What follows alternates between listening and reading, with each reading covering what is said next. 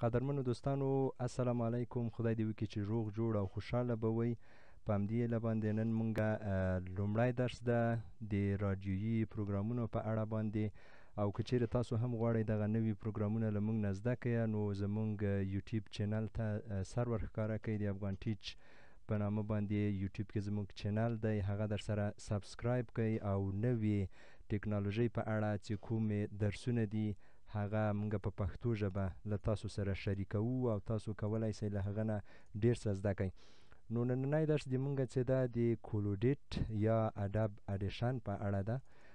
په دغه پروګرام کې مونږ نن تاسو ته درزده کوو چې په رادیوګانو کې دغه پروګرام څه ډول له دې نه استفاده کیږي. لومړی راځو کولوډیټ پروګرام مونږ تیار په کمپیوټر کې ما انسټال کړی و تاسو هم که چیرې غواړئ اډابډیشن یا کلوډیټ یا ویډیو ایډیټر دا تاسو انسټال کې په خپل کمپیوټرونو کې ډیر وز نیم کم دا او ډیر ښه په هر کمپیوټر کې کار کوي او اډیو یا غږ چې کوم تاسو دا غږونه چې دي هغه په ډیر اسانه ډول باندې په دغه پروګرام کې تاسو ایډیټ کولای شئ مکس کولای شئ بکګراوندونه مختلف ورسره اچولای شئ غږونه په مختلفو مختلف ډول باندې تاسو کولای شئ غږونه مثلا نری غږونه ډبل غږونه یا زیاتره هغه حیواني خبرونې چې کومې دي په هغو کې د حیواناتو غږونه تغیریږي په همدغه پروګرام کې هغه ټول تاسو کولای شئ په اسانه ډول باندې زده کړئ زموږ دغه چینل ته سر ورښکاره کړئ او دا پروګرام وګورئ نو راځو لومړی د اډبډیشن یا د ویډیو ایډیټر پروګرام په کمپیوټر کې ما انسټال کړی هغه را خلاصوو اډابډیشن دا دا در خلاص کو په دې کې هم لکه د نورو د آفس د پروګرامونو په څیر باندې مختلفې مینوګانې وجود لري لکه فایل ایډیټ ویو افیکټ جنریټ انالایز فیوریټ آپشنز وینډوز او هیلپ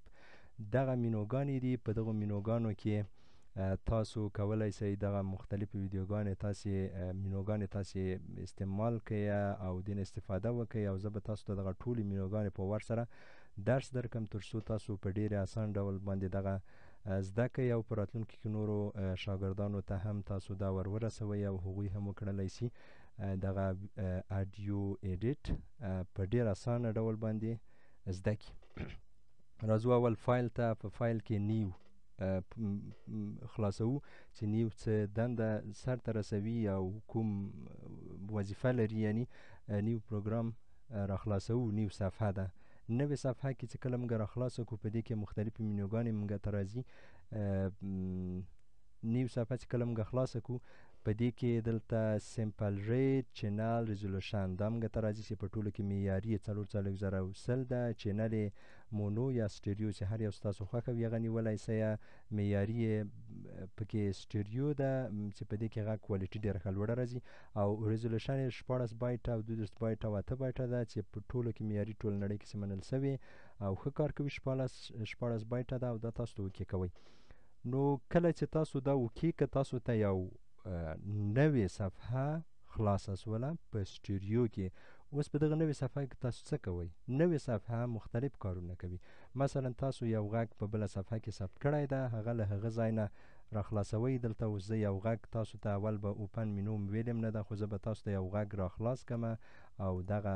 چې څنګه کار کوي د دې غږ کنټرول کیبورډ وایم کاپي به یې واخلم نوې صفحه مې ترانه اخیستې ده دلته بل کنټرول وی کومه شارټ کټ یې دا چې پیسټ کیږي یا پخای کلیک پې کوي دلته پیسټوي داسې هم راتللی شي نو د نوې هغه یو دا وظیفه ده بله وظیفه یې دا ده د کلم چې نوې صفحه خلاصه کړله بله وظیفه یې دا ده چې په دغه نوې صفحه کې موږ کولی شو ریکارډ وکړو دغه سره علامه چې ده د ریکارډ ده دغه نورې اپشنونه یې چې دي دغه دا به هم زه په قرار درته وایم په راتلونکي کې چې دا څه وظیفې سرته رسوي اول به دا ریکارډ ځکه وایو چې دا د نوې صفحې پورې تړلې ده ریکارډ وایو دلته کومې خبرې چې زه اوس کوم هغه په سکرین باندې ماته ثبتوي دا هغه وخت استفاده کیږي له دې نه ګټه اخیستل کیږي چې کله تاسو په ویډیو مثلا اډیو پروګرام ثبتوي غږیز پروګرام ثبتوي مېلمانه لرئ او هغو مېلمنو نه تاسو پوښتنې لرئ په ژوندۍ بڼه باندې او بیا تاسو غواړئ په رادیو کې دا تاسو بار بار نشر کړئ نو په دغه نوې صفحه کې ریکارډ بټن وهئ او دا هغه تاسو ثبتولی سئ او بیا په ځلونو باندې تاسو کولی سئ هغه بیا ریکارډ بیرته پرېږدئ او ثبت یې کړئ او بیا نشر کړئ سپیس وهو دا درېږي کنټرول اس ورته وایو یا فایل ته ځو سیو از ورته وایو دا په یو نوم باندې په ډیسکټاپ کې ثبتوو مثلا یو نوم ورته ورته کوو کمپیوټر یو نوم دا ورته ورم کو کنټرول سیو از دلته کمپیوټر په نامه یو سته په هغه باندې سیو از کوو نو دا زموږ پروګرام په نوې صفحه کې موږ ثبت کوو بیا یې کولی شو هغه څو ځلي نشر کوو او وایورو دوم آپشن ته راځو د اوپن د اوپن هم لکه څنګه چې په افیس پروګرامونو کې تاسو استفاده کوئ ورنه د وورډ په قسم باندې د وورډ پروګرام خو د ټولو زده ده په هغه کې هم په همدغه ډول باندې یو فایل کله چې موږ غواړو را خلاص کړو نو اوپن ته ځو اوپن له لارې نه کوای شو په اسانۍ سره یو اډیو چې موږ تیار هلته لرو را خلاص کړو دریم آپشن ته راځو اوپن از اوپن از له لارې موږ څه کولی شو څو فایلونه په یو ځل باندې پر لپسې را خلاص کړو څلور پنځه فایله دي اوپن ورته وایو په همدغه سټوډیو کې وغواړي را خلاصې کې مونو کې موږ ورته مونو کې را خلاص کړ ټول په مونو کې را خلاصوي دلته دغه دا ټول راغلل پر لپسې هر یو چې غواړي ته واوري دلته ټول په یو ځل باندې درته را خلاص ولم راځو بلې مینو ته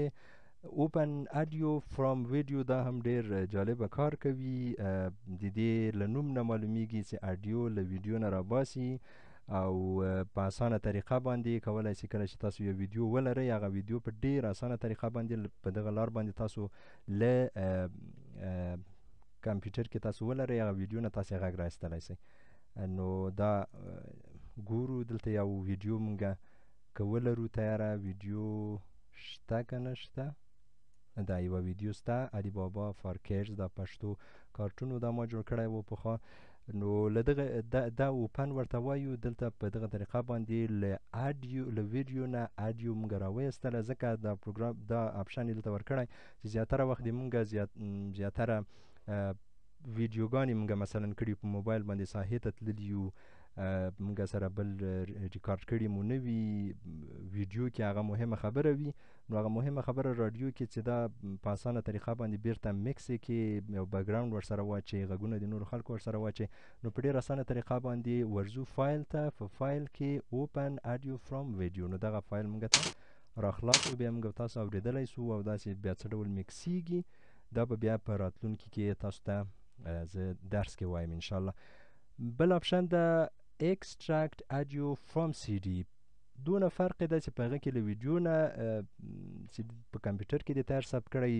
ته هغه راخیستلی سي اډیو راخیستلی سي خو په دې کې فرق دا دی چې سی ډي نه اډیو راخیستلی سي سی ډي اوس زه نه لرم په کمپیوټر کې که سی ډي وای په هغه کې ویډیو چې ور وای چې دلته خپله راځي او اوپن به ورته ووایې او اوکې به ورته ووایې چې خپله هغه تینا نوې سفر واخستل سو او هغه اډیو به تینا له سیډي نه راویستل سي او بل آپشن یې کلوز ده که چیرې ته غواړې مثلا دغه صفحه ده کلیک دې کړله دغه یوه صفحه ته غواړې کلوز یې کې وایې ثبته یې ته ورته وایې نه ثبت مې نه ده پکار بل ورته وایي دا کلوز که لکه څنګه چې په نور آفیس پروګرامو کې ده ما ډول سره دا هم کار کوي کلوز اونلی نان سیژن میډیا هغه چې مثلا موږ ثبت کړي نه وي دلته اوس یو مم موږ نه ده ثبت کړی مثلا دغه سیژن ای سی دی دلته په هر یو مختلف ټرکونه دلته راځي دا بیا موږ څو مثلا میکسوو یې سره څو غږونه سره میکسوو هغه دلته بیا موږ کولی شو دینه استفاده وکړو تقریبا دا څو زیات ټرکونه لري یو سلو اته ویست ټرکه لري دا ټول یو سل اته ویشت ټکه یعنی یو سل اته ویشت غږونه موږ سر په سر کوی سو سره ثبتولی سو دا موږ سیژن نه یو ورته ویلی نو په دغه فایل کې وای نان سیژن یعنی ټول هغه بند کا او کلوز آل کې په همدغه نان سیژن موږ نان سیژن یو تم نه دا ویلی دا, دا ټول بندیږي اوس کلوز اونلی نان سیژن موږ نان سیژن خو نه ورته ویلی څنګه نه بندیږي ښه دا ټول انتخابیږي نو دې ته سیژن حتما ویل سوی ده چې مشکل لري ده او کلوز آل چې ده دغه ټول پروګرام داسې ټول څه مونږ لرو دا ټول په ډېر اسانۍ سره بندولای سي کلوز آل ورته بندوي ثبتوي نه ثبتوم نو خدای دې وکړي درنو دوستانو چې تاسو د نننی درس خوښ سوی وي نن جالبه درس و فایل مینو موږ ویلې په هغه کې نیو آپشن اوپن اوپن از اوپن اپنډ open audio from video extract audio from cd close close only non surgeon media او close all دا څو آپشن موږ ویلې او خدای دې وکړي چې له درس نه مو یو څه زده کړي وي نو تاسو هم کولای شئ یوټیوب ته لاړ شئ او زمونږ چینل سبسکرایب کئ زه به یې تاسو ته چینل ادرس هم بیا در ولیږم په راتلونکو خپرونو کې په راتلونکي درس کې به د خپل چینل په اړه لا زیات معلومات زه تاسو سره شریک کړم نو په دا لومړۍ برخه وه د اډیو ایډیټینګ نو په راتلونکي دومه برخه کې به هم انشاءالله تاسو زیات شی زده کړئ ډېره زیاته مننه له توجه نه مو زمونږ چینل در سره سبسکرایب کړئ ترڅو نوې ویډیوګانې چې مونږ ثبتوو هغه هم تاسو ته در ورسیږي سلام علیکم ورحمت الله وبرکاته